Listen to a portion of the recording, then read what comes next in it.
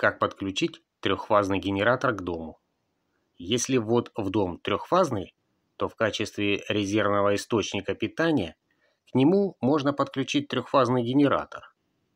Воспользуемся четырехполюсным перекидным рубильником. Он имеет две группы входных контактов и одну группу выходных. Каждая группа контактов содержит по 4 контакта. На один вход рубильника подается 3 фазы и 0 от одного источника питания, а на другой – от другого. Переключая вручную рычажок рубильника, подключаем к его выходу либо первый вход с тремя фазами и нулем, либо второй. Подключим рубильник к дому. Провода с выхода вводного автомата убираем. Но прежде отмечаем порядок чередования фаз на распределительный щиток, чтобы впоследствии подать вводные провода в том же порядке.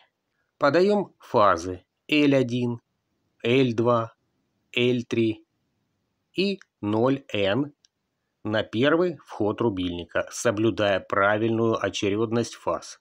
Желтый, зеленый, красный. Подаем три фазы и 0 генератора на второй вход рубильника.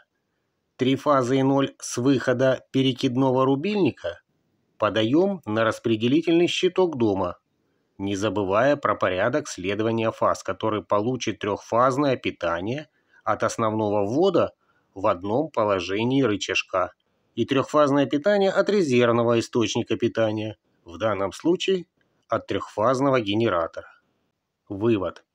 Перекидной рубильник максимально просто и безопасно подключает генератор к трехфазной сети дома, полностью исключая встречное включение генератора с основной сетью, однако после установки рубильника следует обязательно проверить правильность направления вращения трехфазных устройств дома, если таковые имеются, как при работе от основного ввода, так и при работе от генератора. Если они вращаются в обратном направлении, то необходимо поменять два любых фазных провода генератора или основного ввода местами, и направление вращения изменится.